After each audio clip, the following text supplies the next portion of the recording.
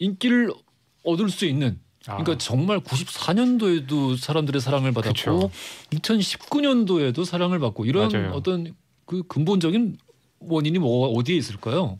보통 이제 저 같은 경우는 뭐냐면 음, 음. 이 작품의 주요한 주제 중에 하나가 이제 삶의 순환이라고 얘기를 하잖아요. 아, 네. circle of life. 그렇죠. circle of life 그래서 아. 주제곡으로도 쓰였고 그렇습니다. 그 삶의 순환이라는 것을 음. 우리 인간하고 좀 다르지만 음. 그래도 동물의 그 귀여운 형태로 음. 그것을 좀 그 손쉽 그러니까 쉽게 음. 남녀노소 즐길 수 있도록 보여줬다는 것 음. 그런 것들이 좀 강렬하게 다가가면서 특히 디즈니에 대한 한국 팬들의 신뢰는 음. 예전부터 굉장히 깊었잖아요. 아 이고 압도적이죠. 그렇죠. 예, 예. 그런 여러 가지가 복합적으로 작용을 하면서 음. 네, 그 해에 예, 정말 음. 라이온킹 열풍을 불러일으켰죠. 야. 그러니까 저도 이 지금 말- 말씀하신 대로 음. 그 심바가 태어나면서부터 영화가 시작되잖아요. 네, 그렇죠. 예. 근데 심바가 태어나서 그 아주 마냥 순수하고 귀여운 시절 음. 그리 그런 게 이제 또 우리 아 우리 어렸을 때 생각이 나는 거죠. 그러다가 음. 심바가 이제 사실은 오해이기도 하지만 음. 자신의 잘못으로 인해서 아버지가 죽었다라는 그렇죠. 그렇게 굉장히 좌절과 있었죠. 절망을 가득 찬그 음. 시절을 보내잖아요. 음.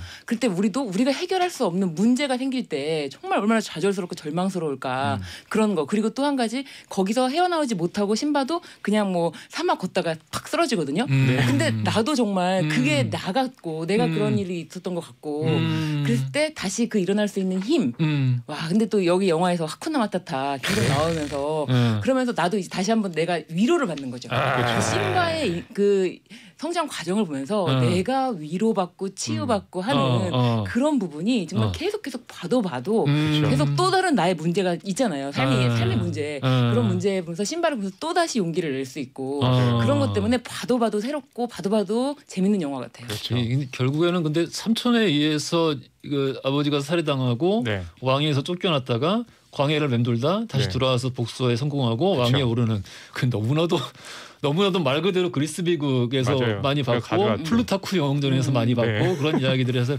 그런 이야기의 원형이 주는 재미가 그렇죠. 사람들에게 맞아요. 어필했던 게 아닌가 그런 생각이 들기도 합니다. 네. 많은 분들 보셔가지고 달달달 외우는 영화니까 네. 간단하게 줄거리 소개해 주시죠.